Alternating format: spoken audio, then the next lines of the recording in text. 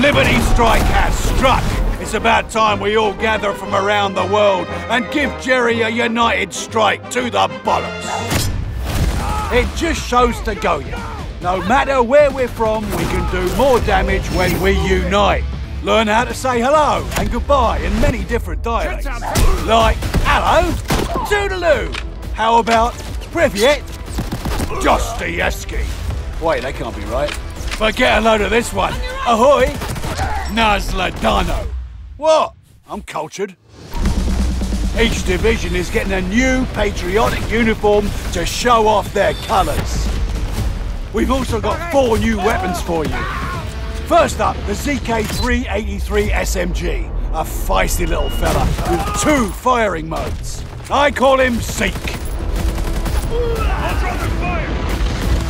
The Delisle Sniper Rifle. The built-in suppressor allows you to take out enemies without a big hullabaloo. Rockabye, baby mother. Let's go! The AVS-36 rifle.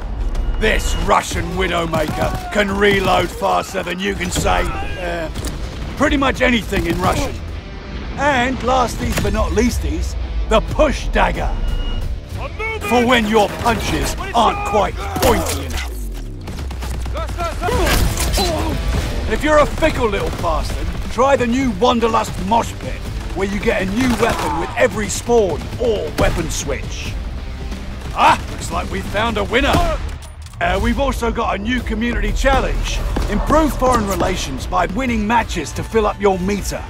You can unlock five new rewards, like this American M1 Garand weapon variant. Liberty Strike is upon us, ladies and gents.